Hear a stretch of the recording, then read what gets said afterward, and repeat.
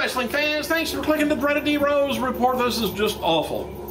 Kaitlyn was accidentally bloodied during her match against Natalya uh, on this week's episode of WWE NXT. Anyway, she wrote the mishap on Twitter. She said, For the record, that was not my skin hanging off of my face uh, with uh, in the uh, Natalya match uh, on NXT. She says, I wish I was uh, that hardcore. Says, uh, I had a little accident before the match. Uh, as we all know, graceful is not my middle name. Anyway, SmackDown Diva enclosed the following uh, uh, picture of her chin on the internet. If you uh, can find it, check it out. I'd like to see a little bit more of Natalya. I mean, of, well, Natalya too, but of Kaitlyn. A lot more.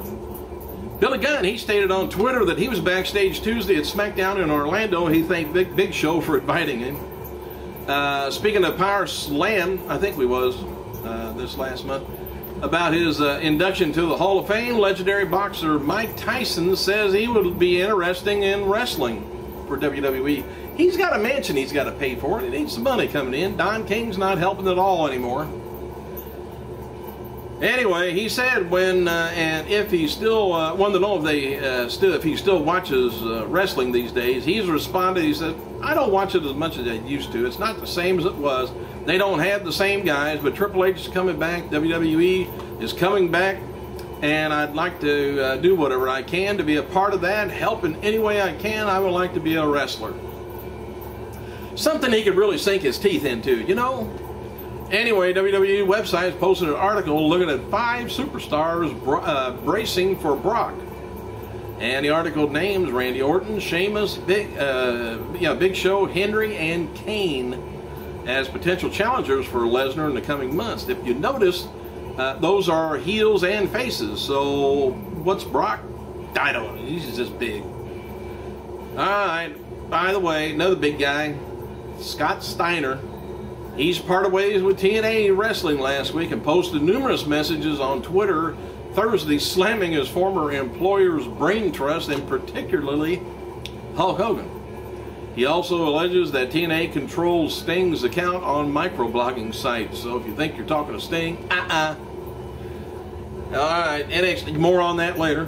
NXT star Maxine, she's looking forward to the company's uh, annual post-WrestleMania roster shuffle which uh, will likely result in numerous long-time wrestlers being let go to uh, make room uh, for incoming faces. She wants her face to be incoming. Well, anyway, she noted on Twitter the Wednesday to WrestleMania is now overtime uh, to change out with the old and in with the new. Hmm, I'm sure I would be on that list. And uh, oh, and they'll do the uh, maybe the raw, not the raw roulette, but the you know, where they shift them from SmackDown to, w, uh, to uh, Raw to SmackDown, and SmackDown to Raw. All right, uh, WWE.com is advertising Booker for uh, Booker T for the Raw brand tour in Mexico next month, and WWE.com is advertising Alberto Del Rio for all SmackDown events in May, except with the Mexican tour. And happy birthday, um, happy birthday to Puerto Rican regular star uh, Slash Venom, 46 years old, and hardcore pioneer uh, uh, Pampero uh, Firpo. Remember the great Firpo? 82 years old. Also, uh, today would have been the birthday of WWE Hall of Famer uh, High Chief Peter Maivia, would have been 75 years old. Rocks, Grandpa. And uh, the advertised main event for June 16th WWE show in uh, Lowell, Massachusetts is Punk, Cena, Sheamus taking on Bryan, Kane, and Henry. Same suspects. All right, now Hogan responded to Scott Steiner, which I was talking about earlier. Anyway, Scott had a Twitter outburst, if you can imagine that, uh, towards his uh, towards Hogan on the this week. anyway, Hogan wrote on Friday today wow, I feel like a fool. I said, I knew Steiner. Uh, he came to TNA and uh, the last tapings and then was asked to leave. Says, I heard the news. I was lobbying hard to bring him back in uh, the right way uh, because I see money and talent in him. I had no idea he felt that uh, uh, that way about me because I always, you know, was really nice. He was always really nice to me and my family, and I I guess I was really wrong. At least I know how he really feels now. Oh, you hurt Hogan's. Oh, he's so hurt. Steiner, you brute. Although Steiner was asked by TNA official staff to leave recent Impact tapings, he, it did not occur uh, this week, though. Must have been a while back. WrestlingFigs.com says James Storm Crimson SoCal Val uh, will appear at the Direct Auto Tailgate Party on um, uh, let's see, Nashville, Tennessee on Saturday from 1 to 3 o'clock. If you're down that way, call for more information. And Eric Bischoff, uh, he weighed in on Brock's decision to return to WWE by writing on Twitter, somewhat surprised by Brock's decision to come back to WWE. Some guys do it for the dollar, some do it for love of performing. Either way, it's good biz. Uh, WWE is also looking to do a one hour Spanish language TV uh, special, or not special, but just a, a series, I guess. No other details are available. It's going to be the same show, just in another language which I thought they'd do that on SAP channel anyway.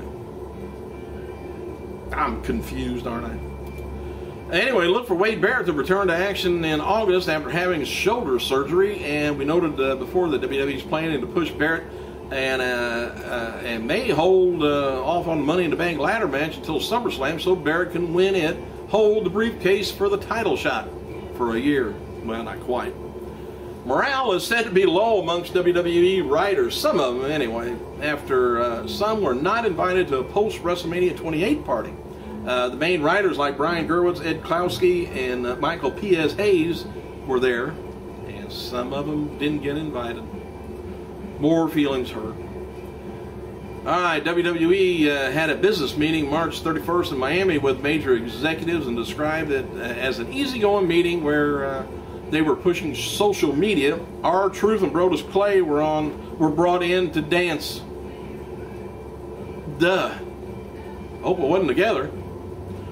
At the meeting, Vince was talking about how they uh, had rapper Flo Rida perform at uh, WrestleMania 28. Sounds like Vince is high on Flo Rida and uh, which could explain his uh, background segment with uh, Heath Slater on the pay-per-view. And as noted before, word is that Brock's one-year deal with WWE is for about five million. And word Lesnar is getting, I think Lesnar was getting uh, when he uh, got beat a few times in um, UFC. Uh, I think he got around maybe close to five hundred thousand.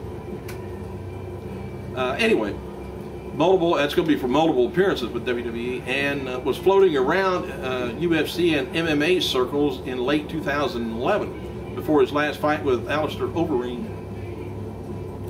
After signing Brock with a one-year deal, it's uh, also believed that WWE is going to be signing The Rock to another one-year deal that will carry him through WrestleMania 29. Does that mean Rock versus Brock?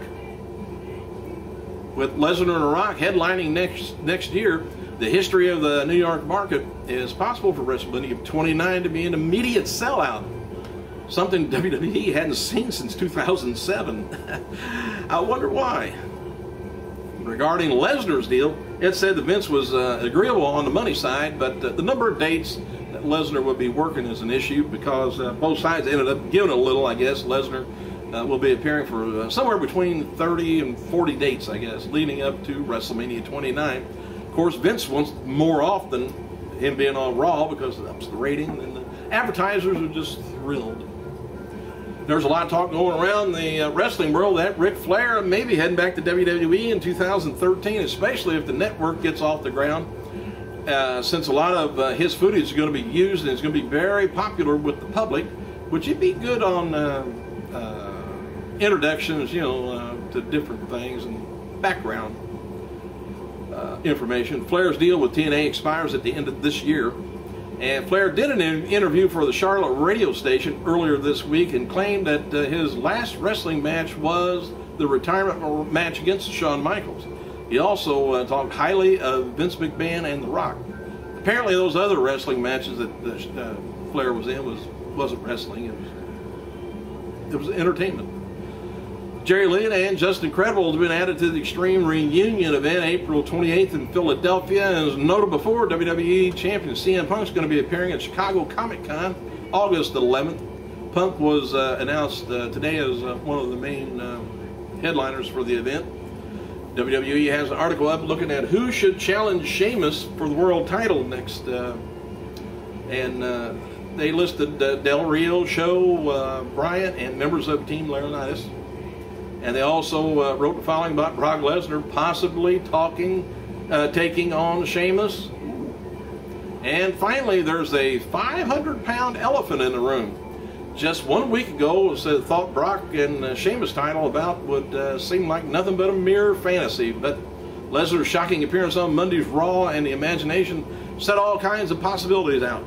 Although uh, his intentions aren't clear as uh, at the moment, uh, his very name just fuels fire and speculation. WWE Universe, uh, very real game of who's next in line, challenge the world heavyweight title. Uh, I don't know if they really know what to do with it.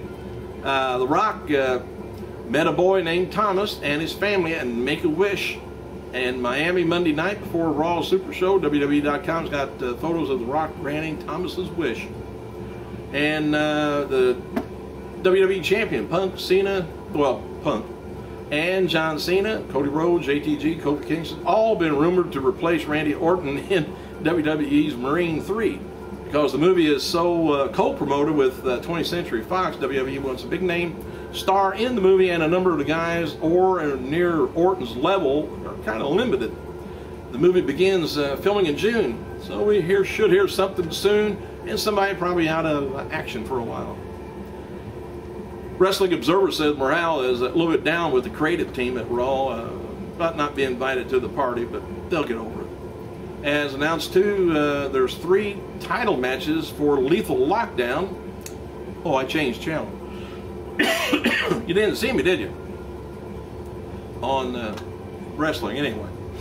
anyway, Lethal Lockdown, April 15th, Nashville uh, Municipal Auditorium as World Tag Team Champion and Women's uh, Knockout Champion and Television Champions, all going to be on the line. Stipulations has been added to Lethal Lockdown as the losing Bischoff family member must leave TNA for good. And if they leave, it probably would be good.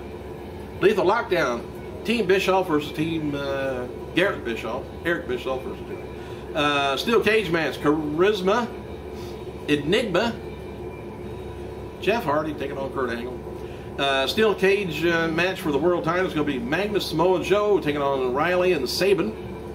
Yep, he's back. And steel cage match for uh, the women knockout is going to be uh, Gail Kim, Velvet Sky. Steel cage for television title Devon versus Robbie E. And steel cage uh, match for the hell of it. It's going to be Crimson versus the Blueprint, Matt Morgan. Thanks for clicking, you guys. I got to go.